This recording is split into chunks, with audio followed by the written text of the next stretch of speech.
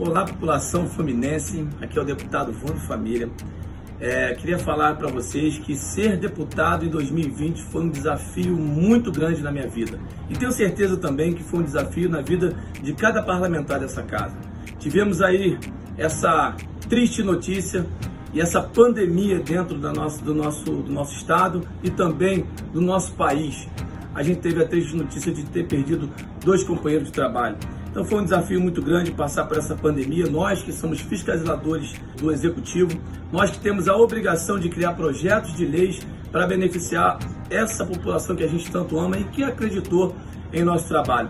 Então, para você, população, saiba que foi difícil ser deputado em 2020, mas foi gratificante. Foi muito bom saber que fizemos parte de um projeto bom, de um projeto único para ajudar o nosso maior patrimônio, que é a população do estado do Rio de Janeiro.